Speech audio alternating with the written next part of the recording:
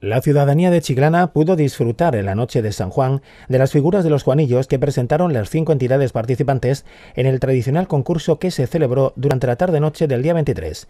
Se entregaron un total de tres premios, un primer premio de 200 euros para la Asociación de Vecinos Ermita de Santa Ana, un segundo premio de 150 euros para Venta Florentina y por último un tercer premio de 100 euros para Bar Richard.